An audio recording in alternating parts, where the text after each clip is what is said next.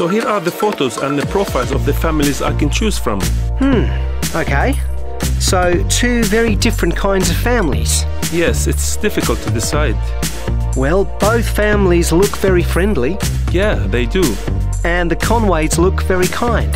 But maybe a bit quiet? Hmm, maybe. Look, the Phillips like doing sport. Swimming, surfing, that kind of thing. Yeah, but I don't like going to the beach much. I prefer playing football. You mean soccer? In Australia, we say soccer, not football. Oh, of course, I forgot. And I have to say, in Australia, soccer isn't so popular. Everyone loves rugby. But the Conways like watching any sport, so maybe I can watch soccer with them. That would be nice. Yeah, that's true. But you like listening to music, don't you? Yeah, I do. And the Phillips like listening to music too. I'm not sure about children. Children are fun. Yes, but maybe not so quiet. No, not if you want to study. And I really want to study a lot. You also need to think about transport. It's quite expensive in Sydney.